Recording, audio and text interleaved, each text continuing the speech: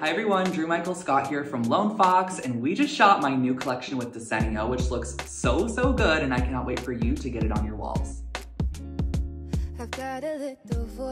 When it came to designing these prints with Desenio, we definitely first kind of went with a color palette and I knew I wanted to go in the direction of the moody kind of brown tones, which I've definitely been incorporating a lot of in my new home. And then from there, we kind of figured out what each piece is going to be. So I knew I wanted to incorporate some abstract, I wanted to incorporate a still life, um, kind of some painted pieces. So the dog and the fox and the flowers are some of my favorite hand-painted pieces in the collection.